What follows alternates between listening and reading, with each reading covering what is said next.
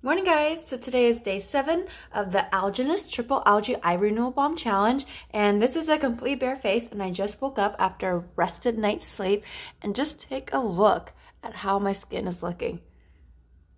The under eye circles are diminishing and my skin to touch feels so smooth. So I've washed my face, applied all my serums and moisturizers and now I'm going to take my ring finger, go in with this product right here on my hand and just gently dab it on. Here we go.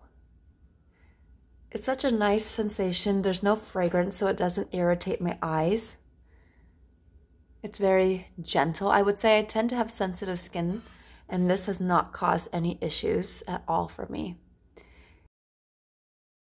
Tonight is night seven featuring the Algenist Triple Algae Eye Renewal Balm and I am really impressed with the results I've seen so far. So I hadn't seen my mom in over two weeks and today she came by to drop off some stuff for me and without any prompting she told me my face looks so much more brighter. So my eyes are so much more moisturized and so much more bright because of this eye cream.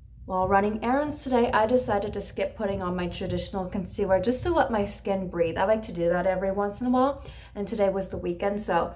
And halfway through the day, while looking in the mirror, I forgot that I didn't even put on concealer. It looks that good. It looks that bright. My eyes are so much brighter on the under eye part and decreased puffiness. And just so glowy, so moisturized.